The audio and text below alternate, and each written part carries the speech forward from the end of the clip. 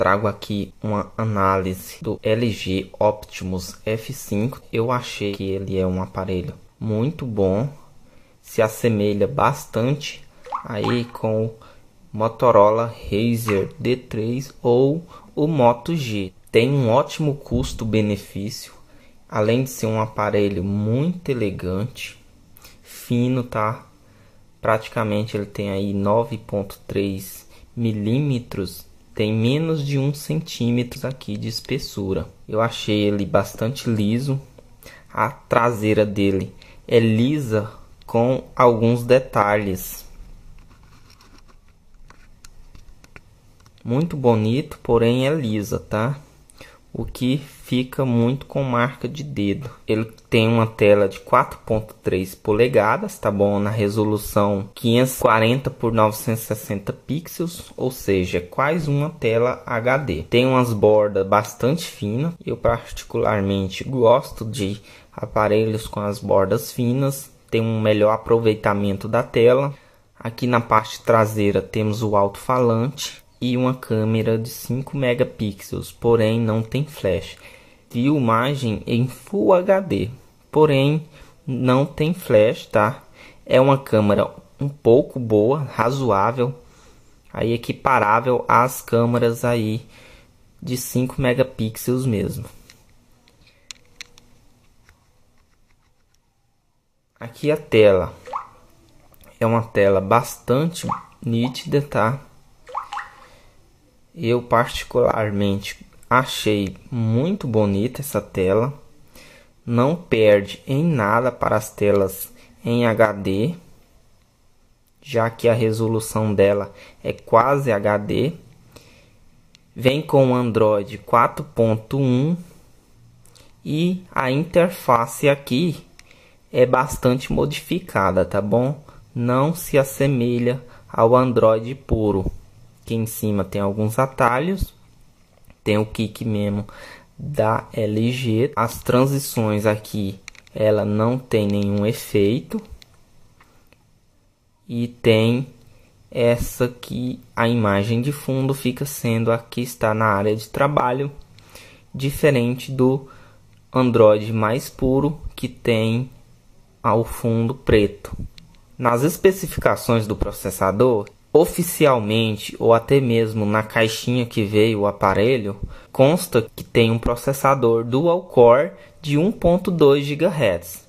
Porém, testes no Antutu e alguns outros sites mostram que ele tem um processador dual core de 1.5 GHz, o que deixa o aparelho bastante rápido, tá? Não trava, tem 1 GB de memória RAM e consegue lidar pra, consegue lidar muito bem com esses jogos mais pesados. Temos aqui esse jogo que foi recém lançado aí para o, a plataforma Android. Muito bom, porém eu achei que é muito difícil.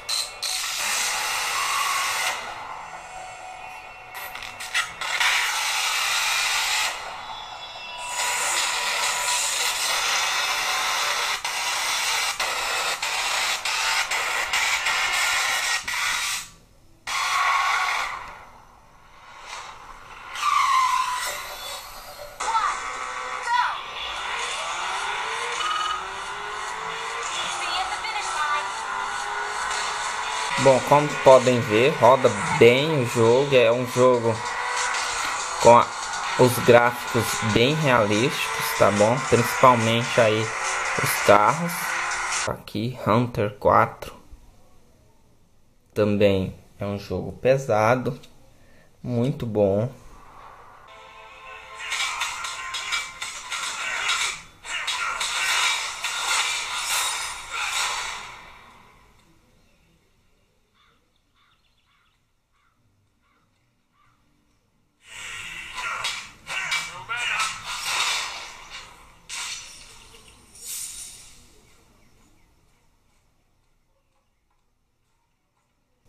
Tem alguns jogos que eu já baixei que ele roda muito bem. É o, o Homem de Ferro, Real Racing 3, o Homem-Aranha Entre outros, o Nova 3, tá bom? Também roda muito bem nesse aparelho. Só que a memória interna vem é praticamente 5 GB e pouco, 5 GB e pouco. Ele é um de 8 GB, porém vem disponível apenas 5 GB e pouco. O que nesse aparelho não te dá a possibilidade de colocar aplicativos no cartão SD. Então, 5 GB que fica disponível para o usuário é muito pouca se você for querer colocar aplicativos pesados igual esses que eu, iguais a esses que eu citei. Teste aqui no Antutu, ele deu um, praticamente 16.802 pontos. Nas especificações da bateria, ele consta aí com uma bateria de 2.150 mAh, o que é um pouco acima da média dos smartphones, porém a eficiência energética, a energética aqui gasta bastante.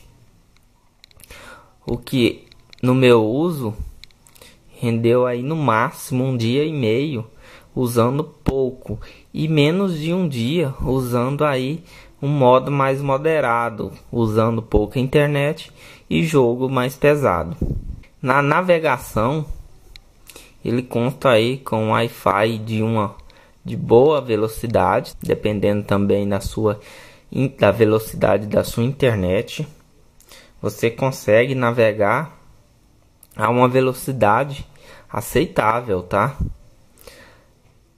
A tela dele, como é de 4.3 polegadas no formato widescreen, então para ver vídeos é muito bom. principalmente vídeos na resolução HD. Fábio Bin 22. Esse é o nome do meu canal, tá bom? Tem aqui alguns vídeos. Então, caso vocês não estejam inscritos, se inscrevam, tá? Tem aqui comparativos, análise de outros aparelhos, tá? que está no formato HD. Aí, pessoal, Como vocês podem ver, ocupa totalmente a tela, então é muito bom. Ele é um aparelho com preço que hoje em dia está muito bom, tá? Algumas lojas estão pedindo acima de mil reais. Outras você pode encontrar até por 569 ou até menos do que isso, o que torna ele um ótimo custo-benefício. Pessoal, a câmera aqui dele, como eu já falei, é uma câmera de 5 megapixels, porém não tem flash, tá? Ele é bastante rápido para tirar foto. A hora que foca, ó.